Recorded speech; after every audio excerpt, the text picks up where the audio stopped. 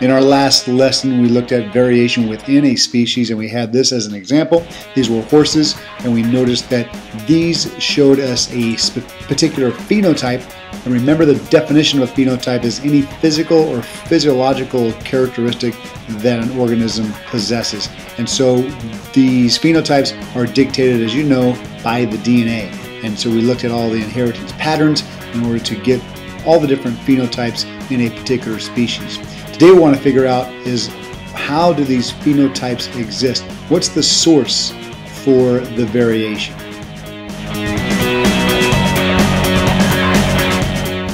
So I'm going to run through a number of slides to see if we can figure out what the source of phenotypic variation is for a species. So here's a slide showing you Labrador retrievers and the Labrador retrievers here come in a number of different colors. We have the father here who is a chocolate color. Uh, the mother is black, and the offspring here, the puppies, uh, we have the black color, the chocolate color, and then also this yellow colored Labrador Retriever. Now the color is dictated once again by DNA. So this slide is a slide of the Indian summer corn. It's actually a really, really good corn. It's pretty sweet. Um, but what we look at here with these ears of corn, each kernel is a different color. So you see a lot of variety here, and each kernel of corn actually has its own set of DNA. They're almost like brother and sister. They're just siblings on an ear of corn. And once again, the different colors are dictated by the DNA themselves. Here's a slide showing you a family of seven, and no, this is not my family. But we do notice here the parents. Here's the father and the mother, and here are the five offspring. And we do notice some similarities to the mother and the father, and also some differences between these siblings as well. This was taken in 1939 during the Great Depression.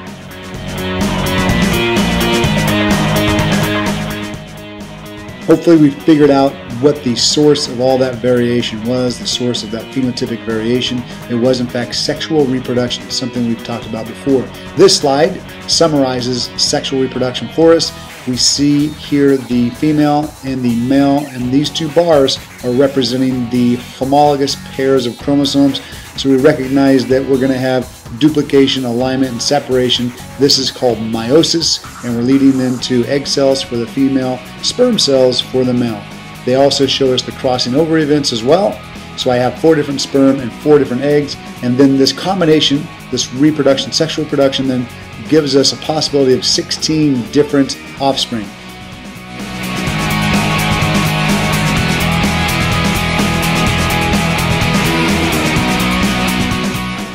Without sexual reproduction and genetic variation, then all the offspring would look exactly like the parents. We would get no variation. And variation, we'll find out in a few days, is extremely important in terms of evolution.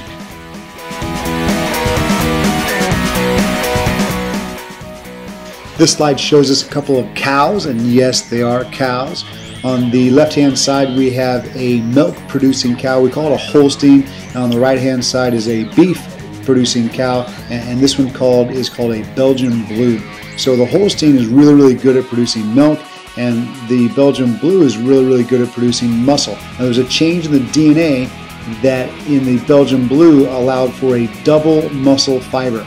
So this double muscle fiber exists now in this Belgian Blue, and it can pass this trait of producing big muscles down to its offspring. We're looking here at two cats. On the left-hand side, we have your typical cat.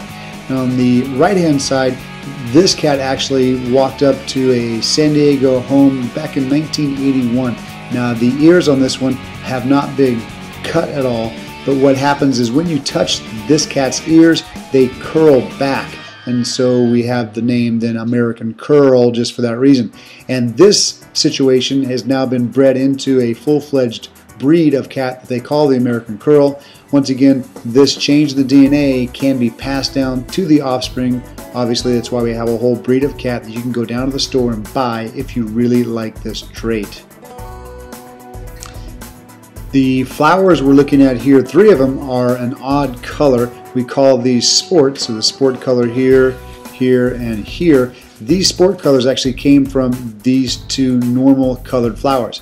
What was done was the seeds of these normal flowers were exposed to radiation and with that radiation then a change in the DNA occurred and we have now the sport colors. Now these sport colored flowers then can produce offspring and they too will possess the same phenotypic trait that we see in these parent flowers. This second source of variation, hopefully you figured out, we call mutations. Now any change in the DNA is in fact a mutation. So here we have a normal colored flower here and the sex cell DNA, here's our DNA here. If we expose this DNA to some environmental factors, so these environmental factors may in fact change the DNA and we can actually call it a damaged DNA. But we have these factors and these factors are actually known as mutagens Mutagens then will cause a change in the DNA, a mutation will occur. Mutagens can be chemical, they can be high temperatures, or they can be radiation, exposure to radiation. So any one of these three things can be a mutagen, which then once again just changes the DNA. We could have a change in the DNA just by having replication errors. So DNA copy errors will occur as well, and it will change the DNA just as the mutagens will change the DNA. Once the DNA has been changed, this may then be reflected in the phenotype of the offspring. So here we see the seed with a changed DNA compared to the sex cell DNA from the parents. This seed then is giving rise to a new phenotype not found in the parents. If the DNA of a sex cell is altered or changed, that new phenotype can be passed on to the offspring.